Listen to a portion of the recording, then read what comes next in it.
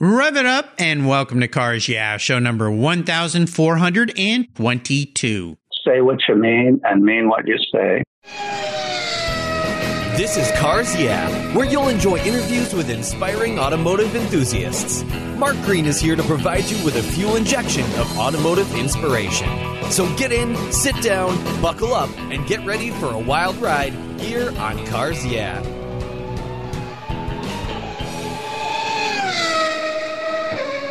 What's the worst thing for your car's interior?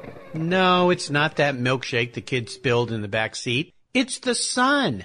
Harmful UV rays cook your automobile's interior hour after hour when it's parked outside, even on a cloudy day. What's the solution? Covercraft sunscreens. They protect your dash, seats, and interior finishes from those damaging UV rays while keeping the interior temperature tolerable, even on the hottest summer days. No more painfully sizzling seats and steering wheels for you. They unfold quickly and easily install, stay where you put them, and are custom patterned for an exact fit. The foam core acts as a cooling insulator, and you can get yours in different colors and finishes. And they even fold up easily and store under your seat or on the floor. I've used Covercraft sunscreens for years, and they are a fast and easy solution that protect my beloved cars when they're not in the garage. Learn more and order yours at covercraft.com. Want to protect your entire vehicle? Get a car cover from Covercraft. They have those too. That's covercraft.com and tell them Mark sent you.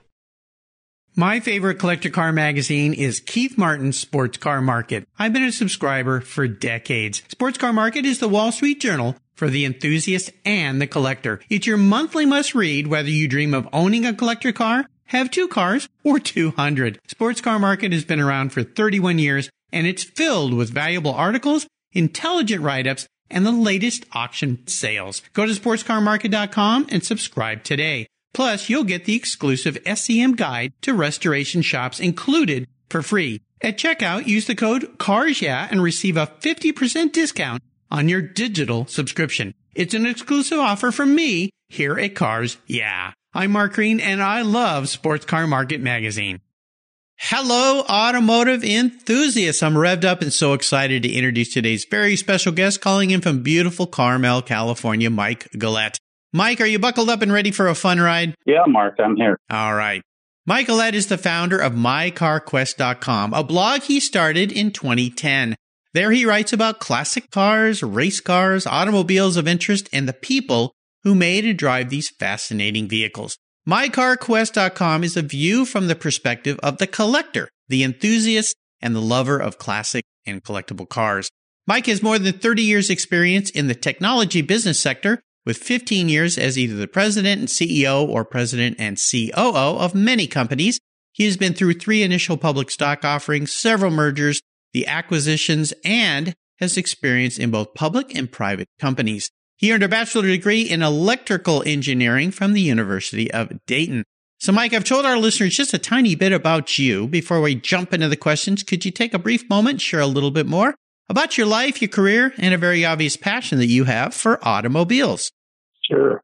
After I left the technology business in uh, 2010, I started my CarQuest as a way to stay connected with car people because, you know, when you own cars, whether it's uh, show cars or cars you drive or race cars, there's only so much you can do with them on a daily basis. So by writing my blog, my car quest, I actually get involved in the collector and classic car activities on a daily basis. And I've met so many interesting people from around the world through the internet, not all of them in person. I've also introduced many people to each other through various stories about cars or car models or even specific cars.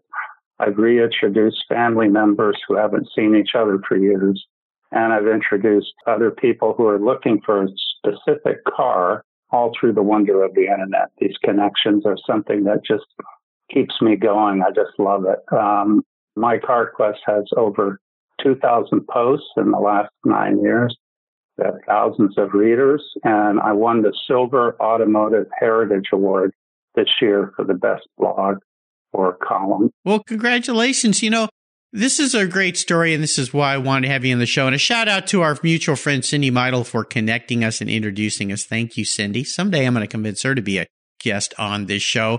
But the thing that you've touched on here is really important, and I think it's uh, of great value. Some people, when they they have success in business and say they sell companies, and then they kind of go off and relax, or I, I won't use the word retire because to me that is the same as just kind of fading into the sunset. But they still want to be connected. They want to stay out there. And we live in a time right now that you can, for virtually nothing, stay connected and be involved and share. And I think the most important part of what you just shared with us here is the connections you make and how you connect with people. Cars in this car hobby are really about the people. I always say the cars are just the catalyst that bind us together. So congratulations on that award. We're going to learn a lot more about my car quest, but first I want to ask you for a success quote or a mantra.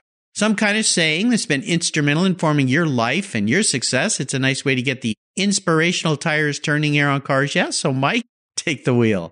Okay. Well, I, I've got two of them. The first one is say what you mean and mean what you say. and the second one is always be on time. Uh, yeah. Two things that are really important to me for sure. I was just having this talk with my my wife the other day. Uh, she's having some challenges with people that aren't on time, and I remember I ran a company for 20 plus years, and I can't tell you how many alarm clocks I bought and gave as gifts to remind people, you know what, it's not that hard to be on time, but for some people it is. What's with that? I don't know, but uh, that one company I was at, the meeting was so uh, notorious for being late. I used to shut the door and lock it uh, at the meeting time. The same thing. Yeah. uh, you know, I, am not sure I recommend that as a, as a method, but it gave it gave people the message that being on time was important because if you're late, you're wasting the time of a lot of other people in the room. Yeah, you know, I used to uh, think of it as akin to being disrespectful to others.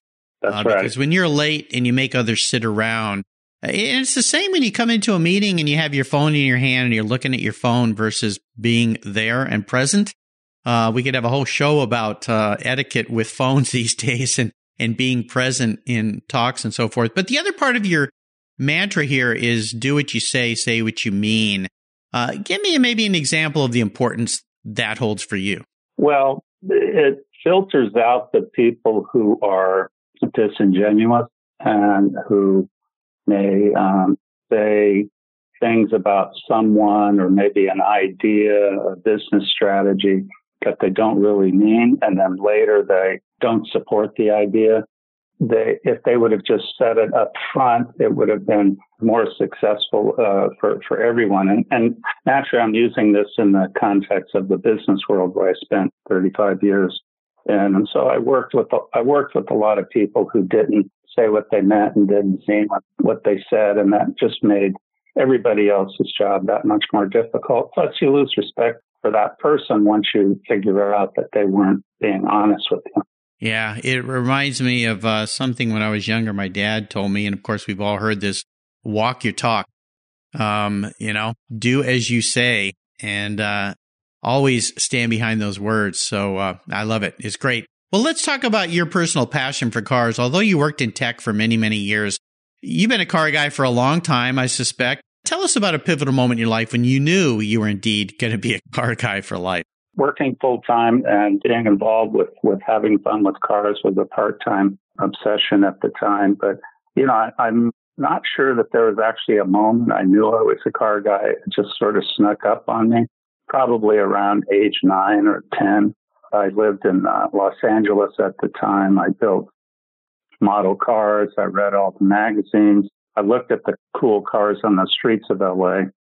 Uh, went to local car shows in the parks, which are very prevalent down there. I helped my dad work on cars because my dad was was a car lover, although he couldn't afford to own the cars that he wanted, but he worked on the ones he did have. You know, it just sort of snuck up on me. And then in LA as a kid, going back and forth to school, I saw brand new Shelby Cobras and GT350 Mustangs on the streets, read about them in the magazine. So I got excited about those cars and, and Shelby himself. My dad was a truck driver. He delivered to the Shelby factory and he was able, he was able to and one of my big regrets in life is I didn't talk him into giving me a visit down there because I'm sure I could have arranged that somehow. I wasn't smart enough at the time, but he brought home from his uh, dealings with the guys on the shipping dock uh, uh, Cobra factory posters, Cobra shirts, Cobra decals, and he brought them all home to me, and they've all been used up. I still have a Shelby factory postcard from 1965 introducing the, the Cobra 427. Uh, the Shelby poster that I had, the factory poster, got lost when I went away to college. But several years ago, I found another one exactly like the one I had that my dad gave me, and I was able to buy it, and I have it framed. It's hanging on my office right now. nice by, memory. By, yeah, so it's it's a nice memory. I wish I had the original one, but it's exactly the same. And I also yeah. I also have one Cobra decal from 1965 that my dad got from the Shelby factory. It's on a skateboard that I built and it's permanently attached to the skateboard. But that's the only memento I have left from all of those decals I had because, as you can imagine, they got attached to anything that they would stick to, which are long of gone course. now. Yeah. Oh yeah, yeah. Who'd have thought? Well, it's a great memory and a great thought. Yeah, the fact that your dad would go to the show, oh my gosh, that would yeah. been, that would have been pretty cool to go and meet old Shell. Well, let's talk about a challenge that you may have faced uh, down the way. Now, you've been involved in a lot of companies that went through IPOs, acquisitions. Uh, certainly, you faced a lot of challenges, maybe it's a failure or two. I would like for you to talk about one in particular, kind of take us there, but more importantly, what was the lesson learned from that so that somebody listening that might be going through the same thing could learn that, you know what, there is a good lesson to learn from these experiences that help you gain more momentum as you move forward in your life and your business and your career? Well, if, if we want to talk about some of my um, disappointments in business, I mean, that could take up the whole show. But uh, well, that's why I say just one. But you know, I, I love the fact that you started that way because that tells me something about you here, Mike. That uh, you're not afraid of failure. Uh, that you take risks, you take challenges, because that's yeah. how we achieve things. Yeah, so I, I, I thought about this question, and I think it goes all the way back to the very beginning of my career. I dropped out of graduate school to take a high paying job as an engineer. And I bought a new Triumph TR6 and maybe I would have been better off if I would have stayed in graduate school. Sometimes I think about that. However, I worked hard in my career in the technology business. I was aggressive. I, I had some talents. I was a good engineer. I was a, a good manager.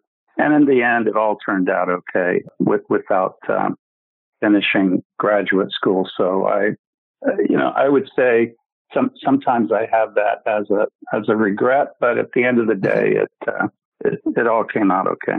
Yeah, absolutely. You know, I tell you, my son, when he was getting into his senior year, between junior and senior year, he got recruited by Google. And I remember him calling me. He went to school on the East Coast. I live out here on the West Coast. And he said, Dad, I got a job offer from Google. I'm like, well, that's great. That's great. That'll be great when you graduate. No, they want me to start now. And I went, whoa, whoa, whoa, whoa, big fella. I said, no. Uh, and now I was paying for a very expensive college education and had been private schooling and so forth. And I said, I really believe you'll never forgive forgive yourself if you don't finish college. You, you come this far. And he went to a very challenging college. I said, don't worry. Here's how we're going to stay in touch with the school or with Google so you can get a job. Well, he did. He ended up getting uh, hired out of his uh, senior year. Uh, I think three days after graduation, he jumped on a plane and moved to San Francisco, and he's worked there ever since. Very proud of him, of course. But let me ask you this because it's something that a lot of people I've talked to over the past, they go, Oh, if I just stayed with it a little bit longer. Now, in your case, obviously it worked well. You've been successful and all that, but there's still that lingering thought I can tell after all these years in your head. What if, what if? So what advice would you give a young person that might be in those same shoes right now? Uh, I would say that there is a certain level of, of minimum education that I think is is required, and I would say a minimum of bachelor's degree. So, like the advice you gave your son, finish that degree up, and and then and then take a look because once you take a break from from college, it's it's very difficult to go back. Uh, if, if you know if you if you go out working uh, making money for four or five years and building your career and you get out of all of the habits of studying and taking tests and then to say, well, I'm going to stop working and go back and, and finish graduate school.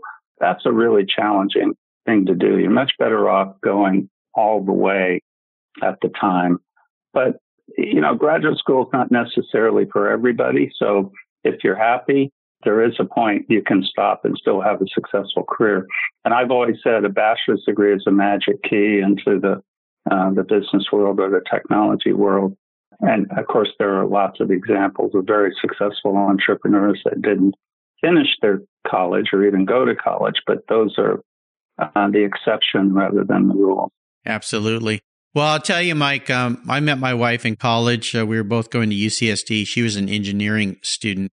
And she used to say she was a mechanical engineering major. And she used to say, well, those engineering majors, uh, the, the electrical engineering majors, those are the really smart guys over there. And I always look at her. She's a very smart woman. I always say, you mean there's people smarter than you? She's, oh, those are the real brains over there. So you're, you're in high esteem with my wife as a fellow engineer. Let's uh, have a little bit of fun and talk about your first really special vehicle. You, you already mentioned that Triumph, but the first special car in your life and maybe share a memory you have about that ride.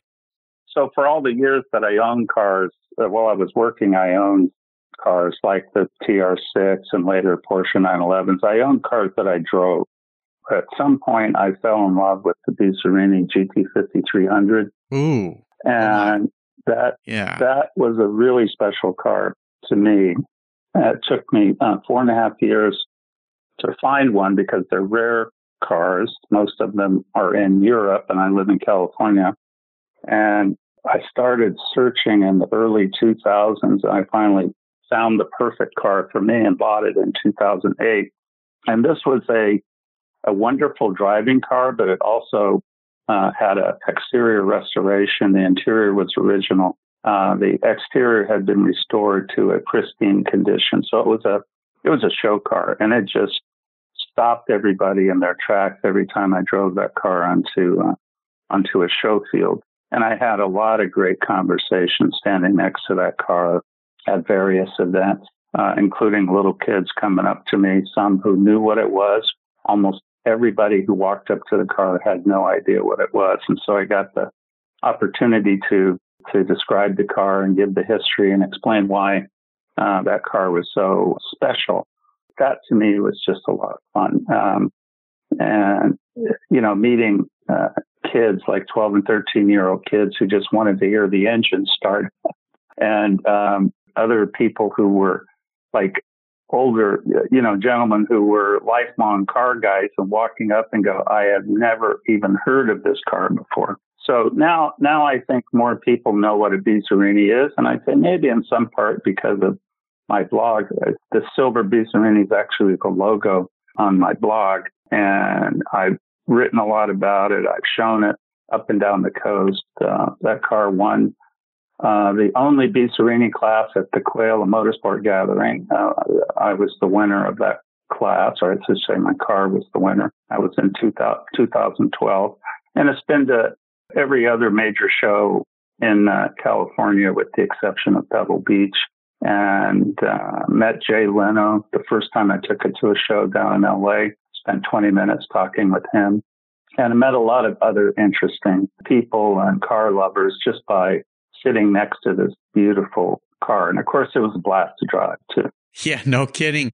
Love that car. Giotto Bizzarrini, designer of that car. And what makes that car so special for those of you may not know it, and you can Google it and look it up, American Power uh, Chevrolet uh, has a small block, right? A 327 yeah, Corvette three, engine in it. 327 Corvette, yeah. And, yeah, the, the, and the, as long as you mention the engine, it's it's uh, important to note where the engine's located. Yeah, uh, it's like right next to you. It's, it's, it's way back. it's pretty much in the middle of the of the car. It's the definition of front mid engine placement. It sits so far back in the car that the uh, dashboard has a access panel that you remove to look at the uh, and access the distributor cap. Yeah, yeah, it, it's a stunning car, and, and, what's really cool about it is it's these some of these mini cars like the um, the Iso Grifo, the Iso Rivolta, which are U.S. engine powered, beautiful Italian design cars.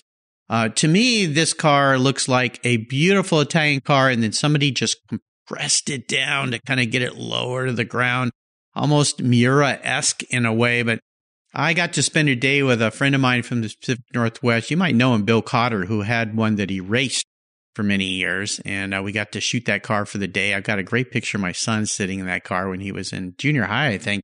I'll have to send that to you. But nice car. That's a great car. What a very, very special first car. Do you have a seller's remorse story, though? A car you've let go that you wish you still had? Yeah, there, there's two. Actually, I wrote an article on, on my car quest about seller's remorse.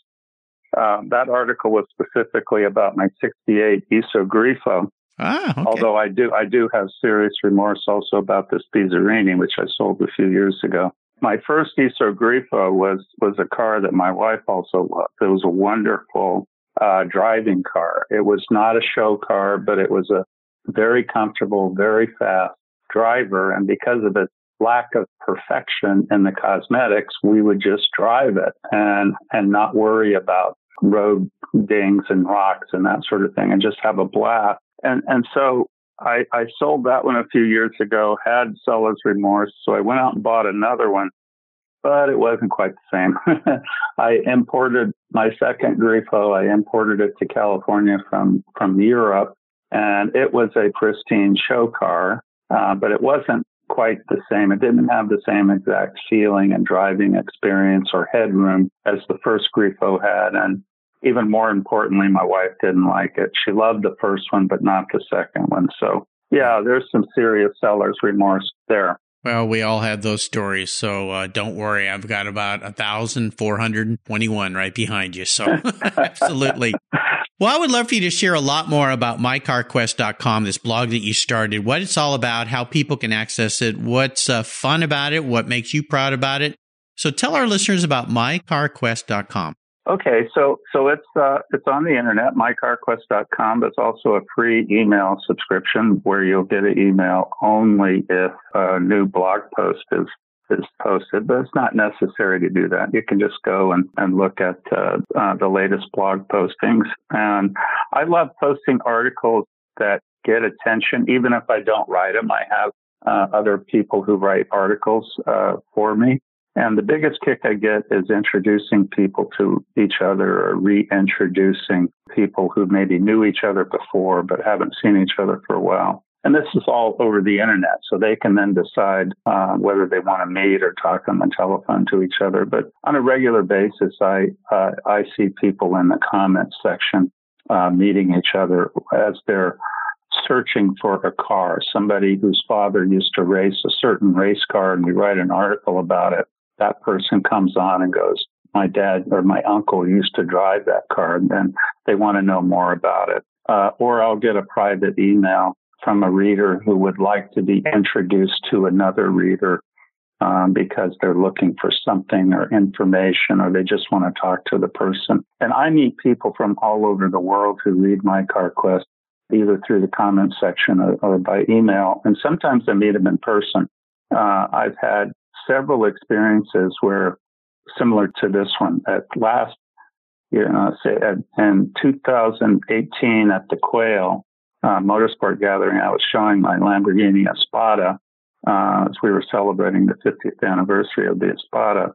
And a, a gentleman from um, Brazil came up to me with his father, and we stood there and talked for about 20 minutes about his Espada because he was restoring his Espada in Brazil. And so he naturally loved to talk to someone who actually had an Espada and look at one. And after we talked for about 20 minutes and it was time uh, to move on, and handed him my business card, which is the logo of my car quest. And he looked at it and his eyes got big and he goes, Oh my God. He goes, I read my car quest every day.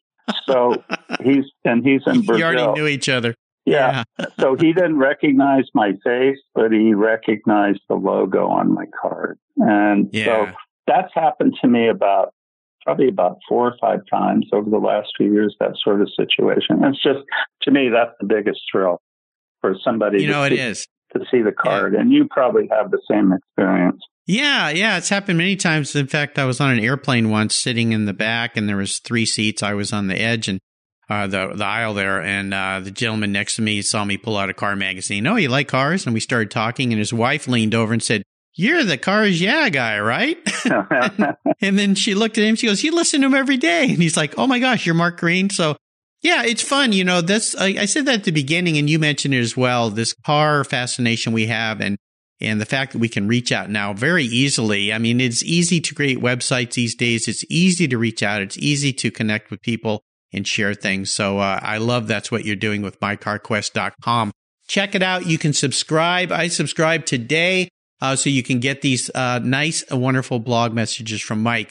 Mike, up next is the last lap. Before we put the pedal to the metal, let's say thank you to today's Cars Yeah sponsors.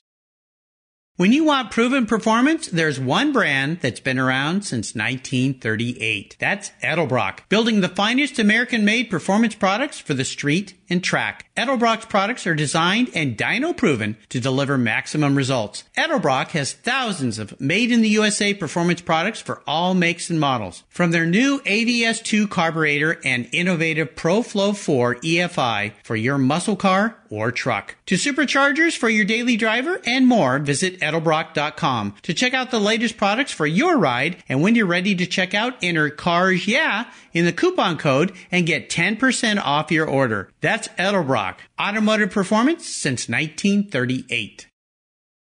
You take care of your cars but who takes care of your investments? Tune ups aren't just for engines. Updating your financial plan is important too. Your GPS may take you from A to B, but it won't help you on the road to financial freedom. For that, you need a good co pilot and a very trusted advisor. Chris Kimball, CFP, is just the man for the job. He'll guide you down that road without driving you crazy.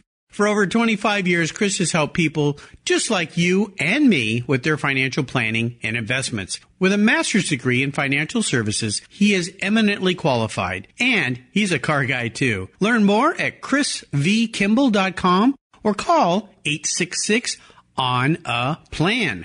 Securities through Money Concepts Capital Corp. Member FINRA SIPC. CK Financial Services is not affiliated with Money Concepts Capital Corp. Are you looking for a way to get your products or services into the ears of thousands of automotive enthusiasts around the globe? I can help. This is Mark Green here at Cars Yeah, and I'd be honored to be an influencer and ambassador for your brand in a unique and personal way. Five days a week, thousands of subscribers and listeners enjoy the Cars Yeah podcast and website. Contact me today and I'll show you how at mark at carsyeah.com or connect with me through the Cars Yeah website at carsyeah.com. Okay, Mike, we are back, and I have a bit of an introspective question. I'm going to get into your head a little bit here. If you woke up tomorrow and you were a car, what would Mike be and why? Well, as you can imagine, that's a difficult question after pondering it for a while. I, I think I think the only answer would be a, an Iso Grifo because an Iso Grifo is good looking and comfortable. there you go. There you go. well, we are entering the last lap, and I'm going to fire off a series of questions and ask you to give our listeners some quick blips of the Iso Grifo throttle. So here we go. What's the best automotive advice you've ever received? When you're searching for a car and you and you decided you wanted to buy a certain model, I think the best advice I've heard, which I try to follow, is buy the best example you can afford as opposed to buying one at a cheap price that needs a little fixing up. There's no such thing as a little. Would you share one of your personal habits you believe has contributed to your many successes over the years? Uh, I have a, an attention to detail, uh, which I think is important, whether you're running a technology company or writing or publishing a blog. Uh, my attention to detail, I think, has uh, done a lot of good for me in my, my life and my career. And the other one I said earlier is be on time you know, the, being late is just a lack of showing a lack of respect for other people and wasting other people's time. So those are personal Absolutely. habits I've developed over the years that I try to stick to. How about a resource that you think our listeners would enjoy? mycarquest.com. There you go. Yeah, that's okay. Self self support is fine here on Cars. Yeah, I was hoping you'd say that. Now, if I could sit down and arrange for you to have a drink or a meal with anyone in the automotive industry, living or deceased, who would it be? Okay, that's actually an easier question for me than it, than it sounds like. I think a lot of people would have a tough time with that question, but but for me, the person that came to my mind that's Lance Reventlow. Okay, tell our listeners a little bit about who he is. Lance Lance Reventlow has one of the most fascinating histories in the car world, I think, uh, that I've ever uh, read about. Actually, I've written about him too. You can find a couple articles about him and his race cars, the Scarab, on my car quest. But he was uh, born into wealth and into royalty, grew up in uh, the Hollywood area, and fascinated by, by racing, visited um, your uh, English uh, race car companies and decided he could build his own, came back to California and hired some of the best people in the sports car racing world at the time, including, uh, you know, Phil Remington and a handful of other fascinating people, built the Scarab race cars, built it into, in the late 50s, the most successful front engine uh, sports car racing in, in the world. And they beat all of the European cars that came over here, Ferraris or Maseratis. They all came over here to race, and the, and the Scarabs were hands down the, the best race car. He was funding all of that through his uh, his mother's inheritance, who was um, uh, inheritance or the heir to the uh, Woolworth fortune. fortune uh, Bar- Barbara, Barbara Hutton. Barbara yeah. Hutton. Yeah. So he lived his whole life in, in, the public spotlight because of his his family, but but he was also a, a tremendous individual that uh, that did some great stuff, and then. Uh, great stuff in car racing, and he never built street cars. He he was different than Carroll Shelby he built cars just to race. I think there were only like eight Scarab cars built, including three ill-conceived uh, Formula One cars. So because of that, uh, he eventually was running out of the, the finances and maybe getting into some tax problems because he was never going to make a profit. He decided to get out of racing and basically handed over his entire operation, facilities, equipment, and people to Carroll Shelby. Carroll Shelby then stood on Lance Reventlow's shoulders and built the Cobra Empire, which went on to win uh, great racing uh, uh, success, even beyond what, what Reventlow did. But a lot of the people, facilities, even the transporters were uh, Reventlow transporters that Shelby took over and just repainted them with the Shelby Shelby livery. Anyway, so unfortunately, uh, Lance uh, died uh, at age 32 in an airplane wreck in uh, Aspen, Colorado. Oh, yeah, Aspen, Colorado. Yeah, if I yeah. remember right. Yeah, incredible story. Uh, interesting that you chose him because uh, I, no one's mentioned him out of all the 1,400 plus people who've been on the show. But um, yeah, his grandparents, of course, uh, Franklin Hutton and Edna Woolworth, the Woolworth fortune. So he was born with a bit of a a platinum spoon in his mouth, but a very interesting guy of what he built, what he did and that connection to Shelby uh, is fascinating. So yeah, he would be a tr- very cool guy to eat with. On a personal basis, one of his stepfathers was Cary Grant. Uh, uh, his father was was was European royalty. One of his other stepfathers was also European royalty. Uh, he married Jill St. John, one of the most beautiful starlets of the 60s. So he had this Hollywood aura about him, but he also had this great success in uh, uh, car racing. Yeah, fascinating guy. How about a book? Is there a book you'd like to share with our listeners? Yeah, I, one of my favorite books uh, kind of ties into this. It's called American Sports Car Racing in the 1950s. It's by Michael Lynch, William Edgar, and, and Ron Parravano with a foreword by Carroll Shelby. Just a fascinating history of this period of time when Lance Reventlow was was doing his thing. It's got a lot of history and cars and people that most people might not have heard of. It's just fascinating. Yeah, and of course Michael, he was a very very early guest. We just recently lost Michael Lynch. Uh, he was uh, I think interview like number 20 for me here on Cars. Yeah, so uh, it's a great book. I've got a copy of that book as well uh, that I got from Michael. So uh, Fantastic. American sports car racing in the 1960s. You can find all these links on Mike's show notes page here on the Cars Yeah website. Just go to carsyeah.com, type in Mike Gulett, G U L E T T, and that page will pop right up. All right, Michael, we are up to the checkered flag, and this last question can be a bit of a doozy. Today, I'm going to buy you any cool collector car on the planet. Doesn't matter who owns it, where it is. I'm going to park it in your garage. But there are some rules to my game that might make it a challenge for you. We'll see. One is you can't sell it to buy a bunch of other toys with. The most difficult part of this is it's the only collector car you can have. And lastly, I want you to drive it. No garage queens allowed around here. I don't think that's going to be a problem for you. What can I buy you today, Mike? Well, I think it's it's a step back in time for me. We've talked about two cars that I uh, that I have seller's remorse on, and my wife would would raise her hand vigorously for the first Iso Grifo we had. but I honestly, I would I would uh, do almost anything to to have my Bizzarrini back. That was a special car.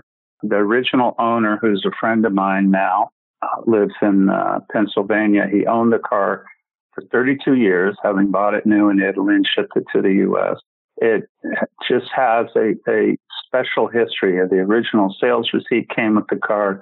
The original owner's manual came with the car, which is rare in the Bizzarrini world. Most people I know that own a Bizzarrini have never even seen a, an owner's manual. And it was in fabulous condition, ran like a top, fun to drive, although it was a challenge to get in and out of it. If you ever seen one, yeah. and you've seen one, there, the yeah. roof line is only 43 inches from the ground. You have to really maneuver yourself to get in and out of that car. But, and I'm six one, but once I found myself in the car, I was actually quite comfortable. Um, but getting getting getting in and out was a challenge. Actually, I did a blog post on on, on the challenges of getting in and out of a Bizzarrini. But I, you know, maybe I'm just a boring guy, but that's I, I, had it before and, and I can't imagine a better car to own. There you go. Well, Mike, you've taken me on a great ride today. Really enjoyed getting to know you better. Again, a shout out to Cindy Meidel for connecting us today here. Thank you, Cindy. And thanks for sharing your journey with us. Uh, could you offer us a little parting piece of wisdom or guidance before you drive off into the sunset in that Bizzarrini? Oh, I, I would say that uh, my friend Bruce Meyer, uh, his his uh, famous saying is "never lift," uh, yes. which which which to me which to me means keep going, don't stop, don't slow down, just keep doing what you're doing. Absolutely. Great advice. For those of you who missed my talk with Bruce Meyer, you can go back and find him on the Cars Yeah website, the quintessential car guy. And the best way for people to learn about you, of course, is mycarquest.com. I encourage you to go there, sign up. You go, you scroll down, you can subscribe, you can get the blog. Uh, really delightful website, wonderful stories. I think you're going to enjoy this. And who knows who Mike might connect you with down the road. Mike, thanks for being so generous today with your time and expertise and for sharing your experiences with me and the listeners. Until you and I talk again, my friend, I'll see you down the road. Thanks, Mark. You're welcome. Hey, Mark Green here from Cars Yeah. Did you know you can now see me on the Cars Yeah TV show. It's a weekly visit to some of my past Cars Yeah podcast guests, and I take you along for the ride. You go behind the garage door and into their lives, their businesses, and you get to see what makes them successful. With tens of millions of viewers, Cars Yeah TV is making its mark. Cars Yeah TV is available on MAV TV and Lucas Oil Racing TV. You'll find MAV TV on Direct TV, Fubo TV, Fios by Verizon, or you can stream it through Lucas Lucas Oil Racing Television online. And they said I only had a face for podcasting. Thank you so much for joining us on today's ride here at Cars Yeah. Drive on over to carsyeah.com to find show notes and inspiring automotive fun. Download your free copy of Filler Up, a fun book filled with gorgeous photographs of fuel filler fun, including quotes from more inspiring automotive enthusiasts. Download your copy today, and we'll see you next time on Cars Yeah!